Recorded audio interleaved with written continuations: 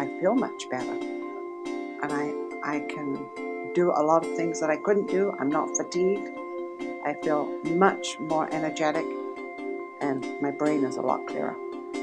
In six months, I've, uh, I've seen more improvement than um, I've ever felt before from any doctor taking any medicine. Just, it has really helped get me balanced and I feel today probably 150% better than I did before I came in here. I just cannot believe the difference.